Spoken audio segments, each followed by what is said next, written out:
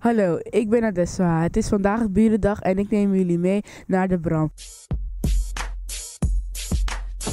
Burendag, kunt u daarover vertellen?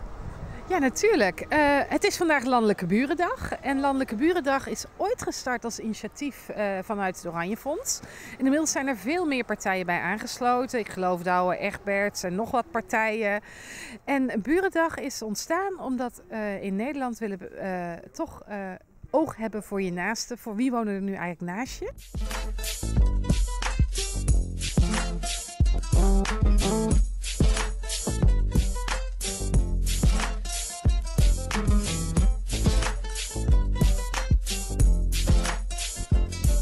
Ik ben vandaag ook eh, om te presenteren UAZ Buurtcafé.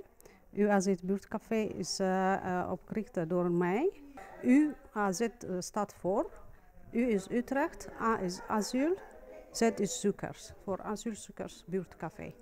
Ik ben uh, startondernemers. Mijn ondernemerschap is uh, uh, catering, MU Catering. En daarnaast wil ik ook voor buurt iets betekenen. De UAZ Buurtcafé doet voor asielzoekers van uh, IJsteindrijf en de bewoners van Utrecht verbinden door middel van een workshop en activiteit samen gaan te doen en Nederlandse talen te oefenen met anderen.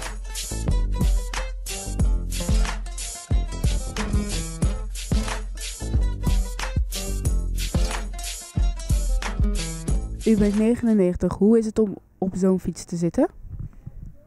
Ja, nou ja, ik heb lekker gezeten en mijn best gedaan. Zou u het leuker vinden om vaker te fietsen? Nou, het hoeft voor mij niet meer. Nee. Ik was net op de fietsterrein. Het was hartstikke leuk. Kunt u daar meer over vertellen? Nou, de fietsterrein hebben we vandaag in het kader van Buren en Burendag. Dus wij gaan fietsen met de bewoners en mantelzorgers langs de buren die we hier in de buurt hebben zitten. Dus we zijn net bij Huizen Roosendaal geweest, bij uh, Roberta. En uh, in het kader uh, van Buren en Burendag gaan wij met mensen de wijk in.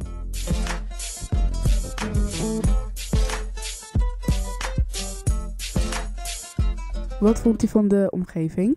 Gezellig. Daar was ik jaren niet geweest.